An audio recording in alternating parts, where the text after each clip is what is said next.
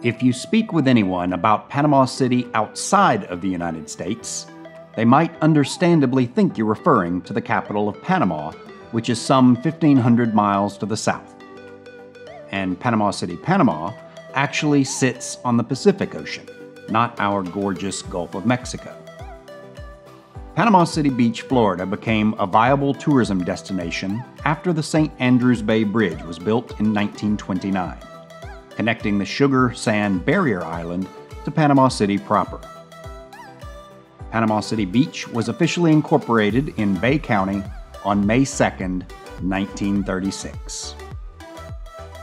This is, first and foremost, a resort town, and it's pretty much been that way since the very beginning. Gideon Thomas built the Panama City Hotel in 1935 and aggressively marketed tourism at a time when most locals were only interested in farming. Later, the town of Panama City Beach merged with three other tiny neighboring communities, including West Panama City Beach, Long Beach, and Edgewater. Collectively, they kept the name Panama City Beach. Paris Janos grew up here He's a very familiar face, as he hosted the daily news here on the Emerald Coast for some 40 plus years. My first memories of Panama City Beach were when I was about eight years old and my family came here to visit. I thought, my goodness, how can it be so hot? But the beach was beautiful. White sand, beautiful water.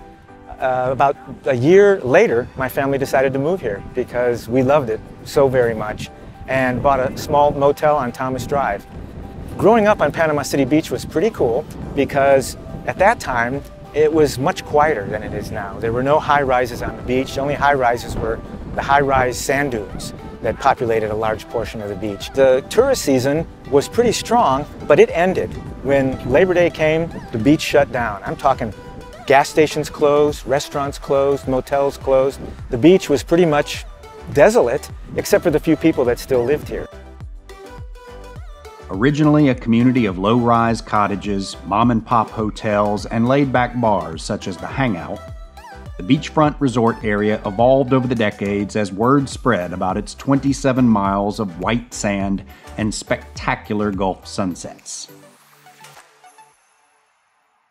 In the early 1960s, a group of business owners led by visionary James Lark pooled their resources to develop a roadside attraction that they dubbed Miracle Strip Amusement Park. Miracle Strip referred to what we now call Front Beach Road. So after we got done cruising the strip, young people would go to the Miracle Strip Amusement Park.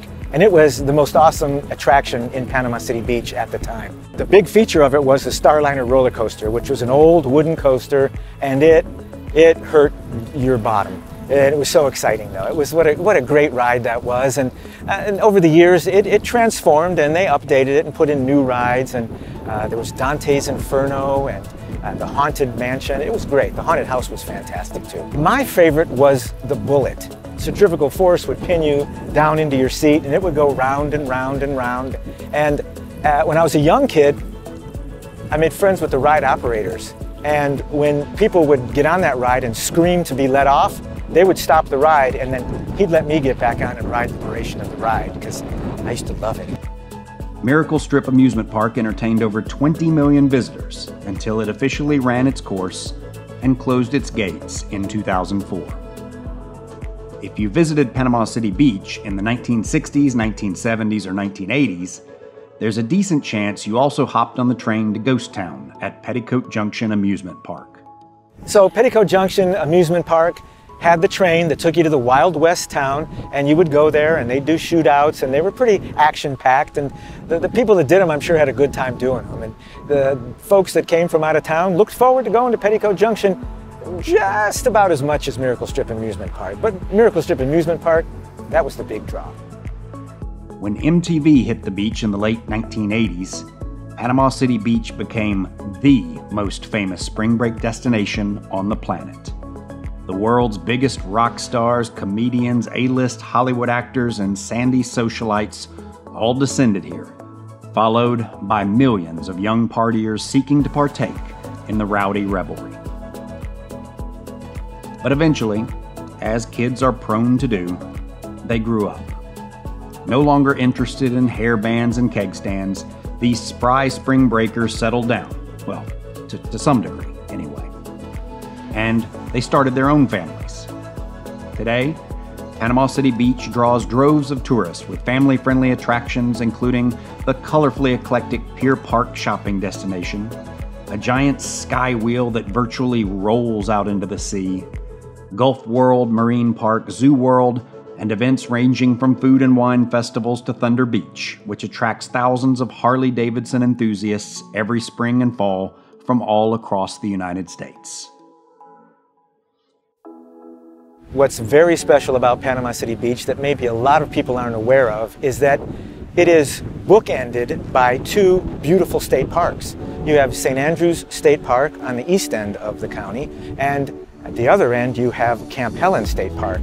Both unique, pristine, beautiful, wonderful hidden gems that you can go to and see what the beach used to look like very long time ago. You can get away from it all. If fishing is your fix, options abound here in PCB. From the harbor, you can be pulling them in from the bay or gulf within minutes. The remote Shell Island separates the two and provides a perfect day trip for quite literally getting away from it all. You can hire a captain, take a shuttle, rent a pontoon, or BYOB. That's bring your own boat. Shell Island will give you a taste of what this place was like before the circus came to town. If you don't yet have your sea legs, there are two prominent fishing piers in Panama City Beach the Russell Fields Pier and the M.B. Miller Pier, often referred to as the City Pier and the County Pier.